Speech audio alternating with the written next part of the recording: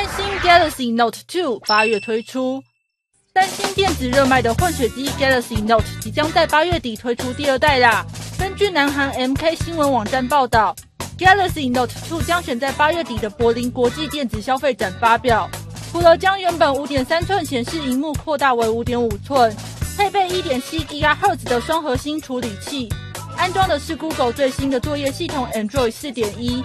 第一代的 Galaxy Note 配备五点三寸的超大荧幕，比一般四寸左右的手机大上许多。